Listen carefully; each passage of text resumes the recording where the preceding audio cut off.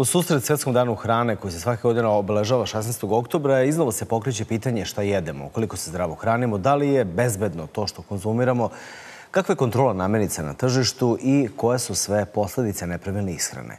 O tome ovoga jutra pričamo sa profesorom doktorom Jagodom Jorgom. Ona je dijetoterapeut, stručnjak za hranu, sa e, Snežanom Milovanović. Ona je predsjednica Udruženja Sloboda za životinje i Veljkom Jovanović, on je direktor sektora za poljoprivrednu Prirodne komore Srbije. Želimo dobro jutro. Dobro I dobrodošlicu. Profesorka, svake godine isto pitanje, stalno, iste pitanje, isti odgovori, ali da li imate utisak da nikako da naučimo? Šta to znači hraniti se zdravo, pravilno? ono što je osnovno kada govorimo o, o, o hrani i zdravlju, to je znači dobra hrana koja treba da obezbedi sve što je čoveku neophodno za normalno funkcionisanje svih, što kažu, organa, je li tako? i za normalan rast, razvoj itd. itd.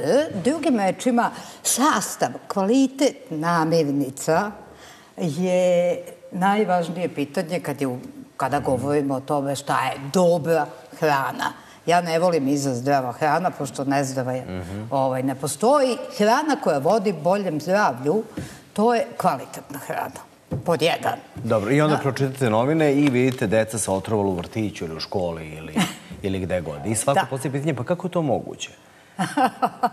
pa hmm? znate kako, ja sam sad malo pre rekla, mi smo jako pocenili moć novca u industrija hrane uopšte i industrija ishrane, da kažemo, no, ogromno, ogromno tržište. E, šećerni lobby je svojevremeno odlagao deklaraciju svetske zdravstvene o, o, o, o tome da treba ograničiti uno šećera na 10%, čak preko 10 godina, zato što je to ogromna moć i ogromne Novac. pare. -hmm. Znači, pitanje je kako da kontrolišemo celu tu priču da zaista prehrambena industrija i svi oni koji su uključeni u ishranu svakodnevno, jel, e, praktično moraju da uključe i element zdravlja, a ne samo profita. Evo, odgovorna osoba je odmah pored vas.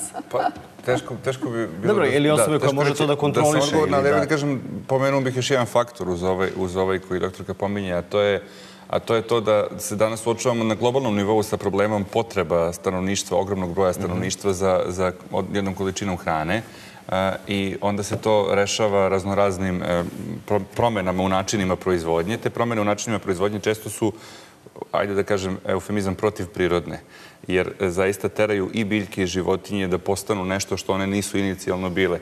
I onda dolazite do problema kako, se, kako ljudski organizam kasnije reaguje na te promene, često to nije ni dovoljno utvrđeno. Kakve će biti posledice korišćenja određenih sredstava e, u ishrani i onda imate na svu sreću i reakciju i tržišta i ljudi koji kažu pa hoćemo da jedemo nešto što je zdravo, onda se pojavi organski pokret, na primjer, kao veoma jak. E, onda se i tu umešala industrija, pa se i organski pokret bori Dobro, ali ajde vi ocenite, molim vas, e, i to ajde, školskim ocenama od 1 do 5, kvalitet hrane na, na srpskom tržištu. To, to vas pitam zato što mi kao potrošači često sumnjamo u kvalitet mnogih proizvoda. Ako bismo, Ovde kod nas uvek bismo... mislimo da nešto što kupimo u Evropskoj uniji ili sa strane, da je to kvalitetnije i bolje. Ako bismo uh, verovali u državu, onda bismo morali da kažemo pet. Ne bismo smeli da pristanemo na četiri. Znate, ako imate sve relevantne institucije i laboratorije koje se bave istraživanjima koje treba da prethode uh, odlasku u, u prodaju, mm -hmm. onda bismo morali da verujemo u peticu. E sad znamo da naravno nije uvek tako, ali... Mm -hmm. Dajte vi svoju ocenu. Odma osnovna primetba koju pričam već 20 godina. Ceo svet je napravio agenciju za hranu EFSA u Evropi i tako da ne pominjem. Znači, šta to čini različitom u odnosu na laboratoriju? Pa to je isto kao kad dođete u laboratoriju i radite holesterol. Ne može onaj ko vam je radio holesterol da vam prepiše, preporuči ili bilo šta i terapiju za taj povišeni holesterol, zato što postoji neko drugi koji će onda reći čekaj, možda ova laboratorija nije i tako dalje i tako dalje. Znači, Agencija za hranu po ugledu na evropsku, na, na, na kakvu hoćete, nije problem. Znači, koji je multidisciplinarni ljud, tim ljudi, koji su odvojeni od sanitarne inspekcije, od laboratorije i tako dalje i tako dalje, i oni daju nezavisno mišljenje, nemaju pojma ko je Pera Perić koji to proizvodi. Sanitarni inspektor je na licu mesta, poznaje čoveka i tako mogućnosti. Znači, ipak ta- tako tako svodimo se... logično. Jednostavno delo je to za, za organizovati. Ne znam, Tu zašto? imamo i laboratoriju u Batutu, imamo i Ne, razne ne, pa imate laboratorija, pun Beograd koje se- laboratorija. Ali šta biva? Ja sam pitala privatnu laboratoriju. Šta biva kad date negativno mišljenje? Kaže, nikad nam više ne donesu na analizu. I zašto bi davali molim. negativno mišljenje? Pa, izvinite, pa zašto dajete negativno mišljenje? Znači, a, a, prosto svi mi to znamo. Prema tome, Agencija za hranu za početak priče, znači, tu će biti ipak koliko toliko objektivnije. Ja ne kažem da smo mi imuni na korupciju na sve načine, ali je tu mogućnost ipak veća da zaštitimo potrošače. Suština je da postoji. Suština je Snežana, da mi smo zvali vas, koja se time a, vas a, vi pored toga što ste angažovani u organizaciji Sloboda za životinje, vi ste i vegan. Da. A, Kakav, kakav je to način ishrane, odnosno da li je popularno u Srbiji, zemlji, mesa, slanine, Da. Svega ostalo? Pa mogu reći da jača pokret ovde. U svetu je naravno to mnogo izraženije, ali e, s obzirom na medije i internet koji je sad toliko aktivan i snimci iz klanica, iz masovnih uzgoja, iz e, da kažem logora u kojima su te životinje zatvorene dolazi vrlo jednostavno do ljudi i ljudi se sad mnogo jednostavnije odlučuju jer im je dostupno, dostupno su im informacije. Inače, e, e, nisam sad tu da govorim o zdravlju e, u smislu sad neke kompetencije. Za moj pojam... e, Dobro, ali kroz svoj bitno- lični primer možete to da Naravno, nam ispričate. o, svoj lični primjer uvek mogu izneti u životu u svim aspektima od odgoja svoje dece Kako do... se hranite? Gde, gde kupujete hranu? Šta vam je važno? Šta, Da, a, pojasnite nam vaš sistem, Da. vašu životnu filozofiju. A, pa ja, evo da krenemo od, e, mislim, najvažnije stvari. E, Ljudi su potpuno nesvesni da je recimo, evo, pošto ja jako volim Tolstoja inače, ali recimo za vreme njegovog života jedva da je bilo a, pola milijarde ljudi na zemlji. Znači, to je bio 18. i kraj, e, kraj 18. i početak 19. veka. Sad nas ima 7,5 milijardi. A, Uporedo sa tim broj životinja koje se koriste za ishranu strahovito raste i e, mogu reći da je u nekim razvijenim zemljama kao što je Amerika recimo ili Zapadna Evropa dostigao enorman odnos. E, recimo broj životinja i broja ljudi je nekad i 30 puta veći. Kod nas je to po onim statistikama koje sam ja koristila e, iz ministarstva od registara koji se vodi i inače ove, statistike koje imam je 10 puta veći. Znači to je jedno strahovito opterećenje na celu planetu Zemlju. Pri tome, da bi se ishranile te životinje, a, potrebna je ogromna količina poljoprivrednih površina. Znači, mi sad kad bi pogledali uzgoj uopšte o, biljnih produkata, one su uglavnom one se uglavnom koriste za uzgoj životinja. Pri tome, pri tome one su genetski manipulisane, koristi se jako mnogo insekticida, pesticida, znači ubijaju se i one životinje koje su u tlu i koje po našem mišljenju tako se i zovemo Sloboda za životinje, znači mi se zalažemo za sve životinje, ne ono kuce, mace i ostalo, sve to ok, ali reč je o svim životinjama. Profesorka, našim a, jelovnikom prevladava meso. Da li možemo da promenimo tu naviku i da li tu naviku treba uopšte da, da menjamo? Da li možemo da živimo bez namirnica životinskog porekla? Ne. Ne. Možemo samo pod uslovom ako suplementirano iskreno, znači uzmemo gomilu tableta, vitamina, minerala i tako dalje. To je osnovni problem koji ja Ja kao ja lekar ne vidim. Da, apsolutno, tu nema nikakve dileme u nauci. A vi ne koristite nikakve te vitamin, suplemente, ne. B12, Reći ću nek- kad završim. B12 vitamin ne postoji. Da. Ne postoji. U biljkama prosto nemaju način da je proizvode. Znači, drugo je pitanje ovo i potpuno se slažem da je sadašnja proizvodnja apsolutno totalna propast za zemlju kao takvu, kao planetu. Ali to je na tehnolozima da iznađu, kako vam kažem, i humanije i jednostavnije načine ovaj, i izvora na primjer, svet sad ide za tim da koristi insekte kao izvor proteina, postoje i sjajni. E, Verovatno zato i nestaju. ovaj, e, e, tako da nije rešenje u tome prestati da se jede meso. Prosto to nauka za sada ne prepoznaje kao mogućnost da imate kompletnu ishranu. Drugo, u Srbiji je potrošnja mesa uopšte nije na nekom svetskom nivou. Amerikanci 120 kg godišnje. Englezi skoro 100 kg, a mi smo, ja mislim, 34 po, po čoveku godišnje.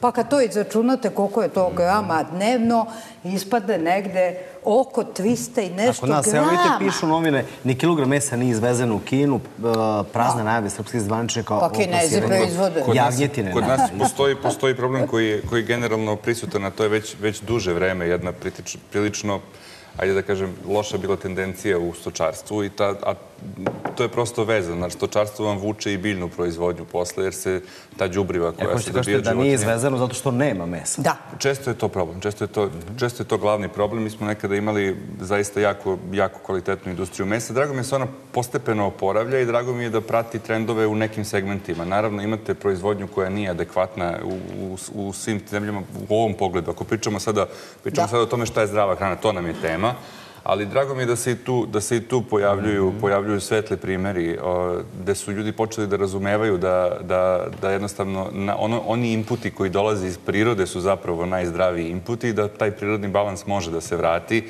da i korov može da bude koristan, u svakom pogledu, tako da se onda dešava, dešava se i to, da još uvijek je to u povoju. Mi smo ekonomija koja u nekim segmentima kaska i polako stižemo na taj put, ali mi je drago da i sam sam predstavnik, ajde da kažem, organskog pokreta. Mm -hmm. Mi smo u Komori osnovali pre godinu dana Centar za organsku proizvodnju, čiji je ideja upravo da sastavi proizvođače i da, ih da im negde pomogne da. one koji razmišljaju na taj način. Snežana, vi kao da ste se ozarili sada kada, kada smo zaključili da ne izvozimo meso zato što nemamo, zato što ga nemamo. Naravno, po mom ličnom mišljenju to je apsolutno nezdravo. Apsolutno to odgovorno tvrdim i uh, ja uh, kažem, mogu samo svoje primere životne izneti. Uh, što se tiče i ovog trovanja koje, o kome govorite, najčešća su trovanja, zapravo trovanja, trovanja mesom, ali ne samo to. Zdravstvena, Svetska zdravstvena organizacija Ujedinjene nacije su od 2006. do sada iznosile vrlo ozbiljne ne priče, nego potvrđene činjenice ispitivanja vrlo opsežna koja su rađena i od 2006. do sada ono što sam ja čitala sve govori o tome da je jako ugrožena i planeta i zdravlje ljudi i jednostavno sveopšti balans o kome vi govorite sa ovako enormnom masovnim masovnim uzgojem životinja. Dobro, ako Tako nemamo da... dovoljno mesa, da li to znači da ga onda a, uvozimo? Mi do sada nikada nismo imali informaciju o tome da neko meso nije dobro kvaliteta, a onda dobijemo informaciju da recimo nekakva piletina iz Brazila ili koje god meso je zamrznuto, pa je pronađeno u Crnoj Gori, pa je tržište, pronađeno, tržište pa je pronađeno u Hrvatskoj, ali nikako da se kod nas pronađe a, to, to nezdravo brazilsko pa ja, ili argentinsko. Moram da priznam, ne, ne čeznem za tim trenutkom da se pronađe nezdravo meso, ali, ali hoću Pitanje da kažem da li ga ne nema ne, se, ili nije pronađeno? Tržište, tržište je tako da, da, da ono diktira, diktira gde će neko nabaviti, tamo gde je jeftinije, povoljnije, gde je dobro transportovati i tako dalje. E, voleo bih da vidim da naša industrija bude, bude jača iz godine u godinu. Čini mi se da je, da je na dobrom putu da to postane, ali ba, ako već, vratio bih se na, na, na temu zdravlja u toj celoj Dobro, priči. Ali, ali, ali ostavite samo, da, ovaj, okay. dajte nam zaključak. Dakle, da li vi garantujete da je svaki proizvod koji kupite u mesari, recimo, da je svako meso potpuno... Da ja ne mogu da vam garantujem, to ne predstavljam tu instituciju koja može to da garantuje, to bave se neki... Ali vi znate da to kaže svaki gost koji ovde dođe, a koji, koji predstavlja državu. Vi ste i ispravne komore. Ne, ne, mogu da vam, ne mogu to da vam kažu gosti iz Ministarstva zdravlja, iz Ministarstva poljoprivrede. Oni to ne bi smeli da vam kažu, zato što kažu. postoji veterinarska kažu, inspekcija da. i postoje, postoje sanitarne inspekcije i tako dalje. Ali mi se bavimo tržištem. U Prirodnoj komori se bavimo tržištem. Znate bavimo šta se... kažu? Sve je na uvozniku. Sve je na uvozniku. Uvoznik od, odgovara, to je njegova Ali uvoznik, uvoznik prolazi jako stroge kontrole u zemlji iz koje, iz koje uvozi mm -hmm. i u zemlji u koju se uvozi. Trebalo bi da postoje jako stroge kontrole kojima se, u kojima se utvrđuje kvalitet proizvoda. Opet vi kažete trebalo bi. Ja Nama treba kako, odgovor, ta, postoje, da, veoma postoje, jasne da, postoje kontrole. veoma stroje kontrole, da ne postoje veoma stroje kontrole, imali bismo velike, velike probleme i e, trovanje ne bi bila izuzeci koji se dese jednom u nekoliko godina na ovom nivou, nažalost, na kom su se desili, da su deca bila ugrožena, a nego bi se dešavalo svaki dan, znate. To je, to je ono što je razlika. Profesorka? Ja, ja sam već rekla, apsolutno. I kad je u pitanju uvoznik i domaći proizvođač, meni se čini da su crhi uvoznici mnogo više kontrolisani. Moj utisak, ne kažem da možda to bolje sanitarci i veterinarska inspekcija mogu da kažu, ali je apsolutna činjenica da i zakonska regulativa. Šta biva kad pronađemo neko ko, ko ne ispunjava uslove? Ništa. Znači, to bi moralo da bude onako na billboardima, znate, da ako ništa, da je njegova reputacija dovedena u pitanje. Jer to je, to je ta, taj problem I, i nemate ni dovoljno moćnu zakonsku regulativu, a ni aparat dovoljno nezavisan da vrši kontrolu hrane na samom tržištu. Evo, Branko piše naš gledalac, kaže, živeo sam godinu dana bez mesa i šećera, samo na voću i povrću i bez ikakvih tableta. Pa da vam kažem, ovo što kaže doktorka Jorga što se tiče B vitamina, vitamina B12, to je u pravu. Mislim, ja svima uh, kažem uh, uh, da treba da uzimaju B12. S tim što je moje mišljenje tako da smo mi napravili zemlju neplodnom, uništili smo sve životinje unutar zemlje. Sve ono što radi ili stvara bakterije koje proizvode B12. B12 nije ništa što krava odseče od sebe pa da nama, znate. Ona jednostavno to unosi isto a, dok pase putem trave i ostaloga. To, a, to treba da odrade mikroorganizmi i bakterije koji se nalaze na zemlji, u zemlji. Dok mi a, god budemo posmatrali životinje kao izvore hrane i govorili stalno o tom da je to, da to treba da bude kvalitetno, da to treba se uveze, izveze i iz ostalo, ja mislim da mašimo cilj.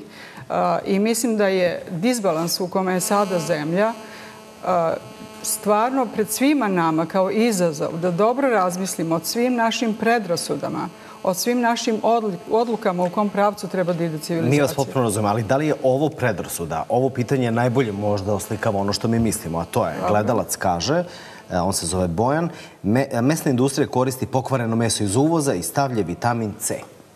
O, da vam kažem, ne znamo, da, ne znamo. On navodi Ima tačno dosta- koja mesna industrija, tačno, ali to sada mi ne možemo da kažemo. Ne, to nikako ne Mislim, možemo ne da kažemo možemo da kažemo, generalno. pošto generalno pogotovo ne možemo da kažemo, jer, znate šta, postoje zaista, postoje, postoje to veterinarska ljudi misle, inspekcija. vi znate da ljudi ljudi misle, misle. ali ljudi misle svašta i ljudi često donose zaključke na osnovu društvenih mreža, na osnovu poluinformacija sa interneta i to je vrlo riskantno ponašanje koje može da ugrozi ljude. Mhm. Mislim, ja ću vam sad reći nešto što je opet moje lično mišljenje, ne predstavljam instituciju.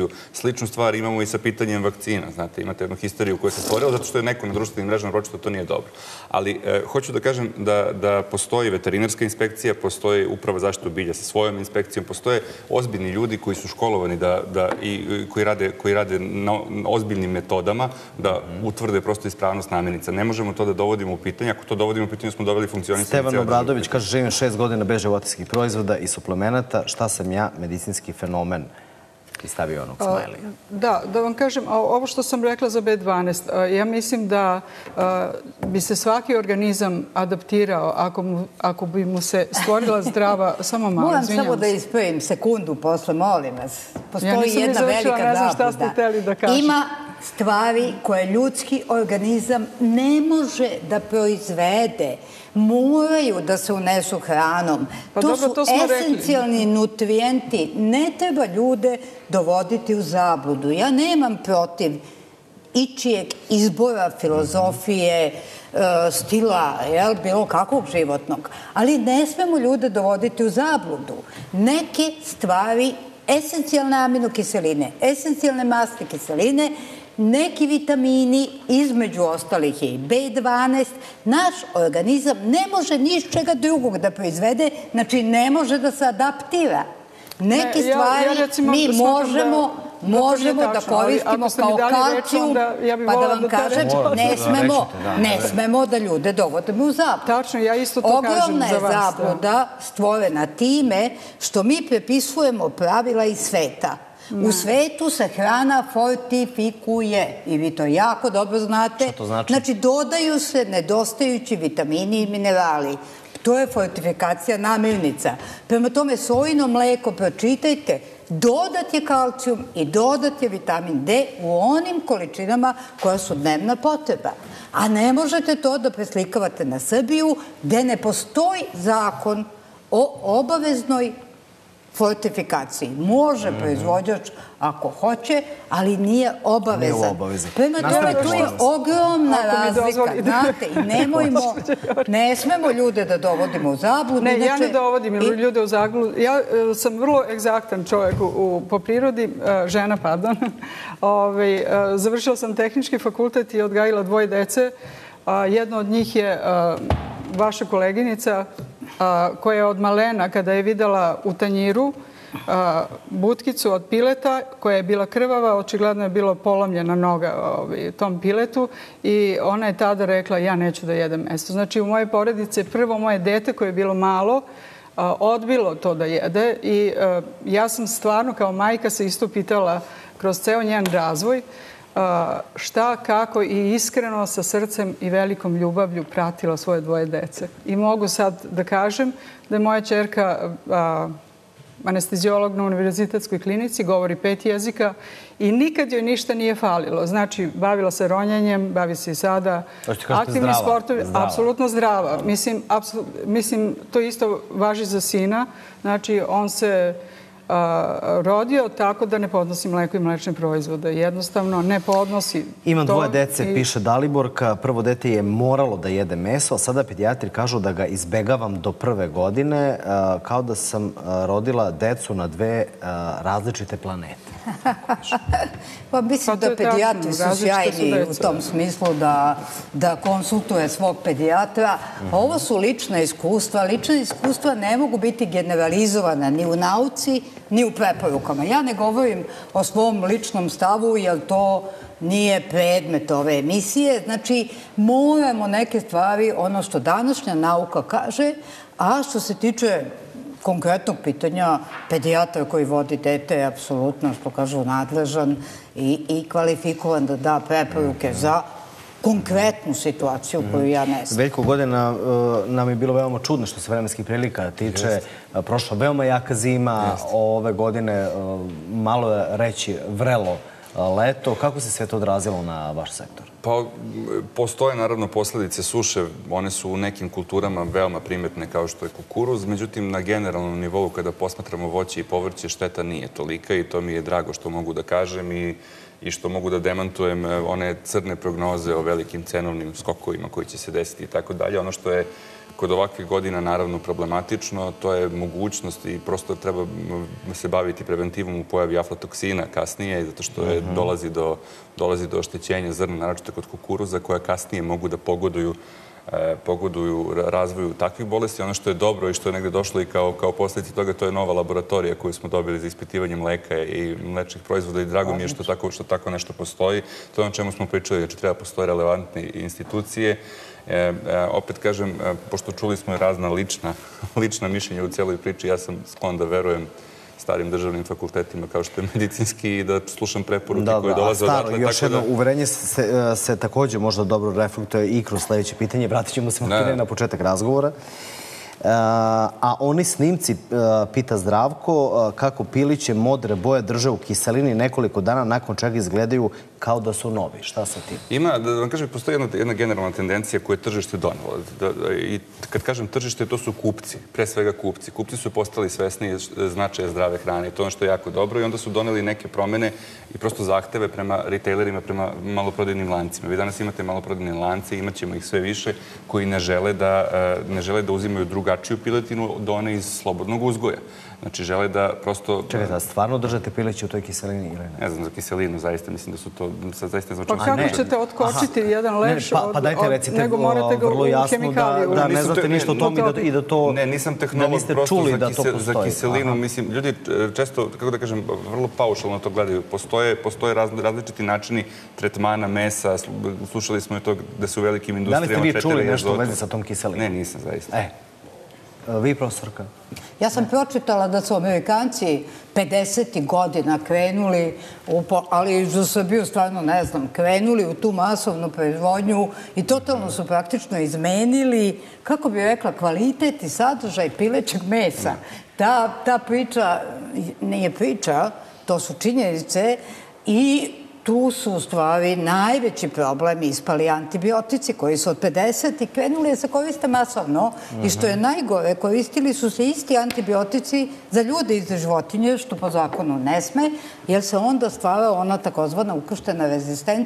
Znači mi postojemo, iako nismo koristili antibiotik, ispada da smo ga uzimali i mislim da tu veliku, ogromnu ulogu jedini koji mogu nešto da urade je kontrola na terenu, jel? Nema Molim vas, drugog samo načina. zaključak u dve rečenice, to smo vam ostali, ostali dužni. A, zaključak vezano za ovaj, e, ovu kiselinu ili ovako Za ishranu, za- ishranu, a i ubacite ki, i Ja kiselinu. lično mislim da čovjek nema pravo da se stavlja iznad drugih vrsta na zemlji, da je e, specizam nešto što nas dovodi na pogrešan put i da bi trebale životinje da se posmatraju kao osjećajna bića, bića koja isto kao i mi osjećaju patnju, bol i sve ostalo i e, da bi mi morali to da respektujemo, a ne da govorimo samo o njima, e, da govorimo o njima kao o nekakvim produktima koje treba da imaju pečat, da li su zdravi ili ne. Daću vam da pročitate sva ova pitanja što pišu gledalci. Pogledajte, profesorka, ne možete da, verujete koje je to količine pitanja. Puno hvala što ste bili gosti naše, naše programa. Sada ćete vidjeti sliku koju je poslao naš gledalac Milan